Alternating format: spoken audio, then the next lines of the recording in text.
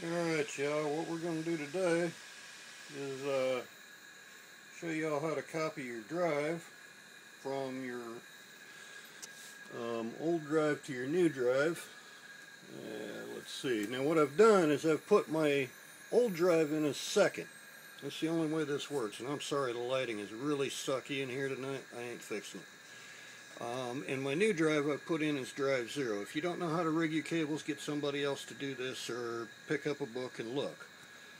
Um, give me a minute, this thing will boot. I swear this is the quickest process. Well, to get it started anyway, you gotta wait while it copies.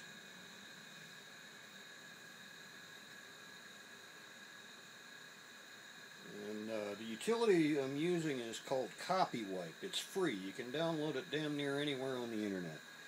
So let me get this sucker up to where I can see that it's actually um, showing what it's doing.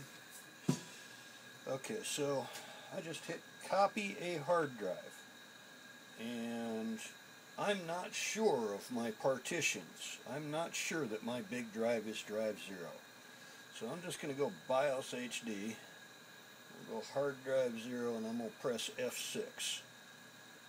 And there is no partition. Okay, so my source hard drive is going to be my hard drive 1, because if I press F6 on this, there's all my partitions, and that shit, believe me, is full. Windows has been giving all kinds of fucking errors.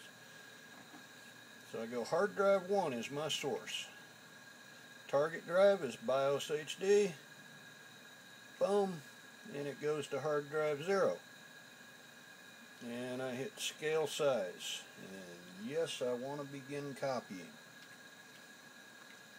Okay, now this is a reasonably fast machine, so I can come back in about an hour and this sucker's to be done.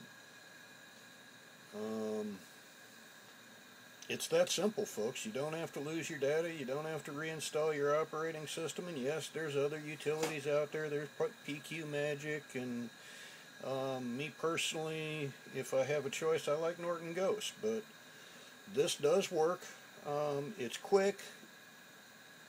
It's a simple utility, and I like my I, I like my drive cloning utilities just like I like my women. Down, dirty, and quick. Or down, dirty, and fast. God damn it, I fucked that up. Alright. Anyway, I'm not going to bore you with making you watch the whole thing copy, but uh,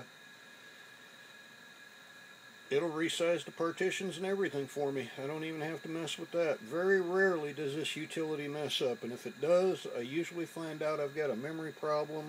Um, sometimes it's actually uh, just a drive problem because I've had drives with bad sectors that would mess up at the end on the resizing the partitions, but for the most part, this is a quick down and dirty utility, and as long as your drive, your new drive is really new and not something used, it works. It works well, it works fast, and it's simple.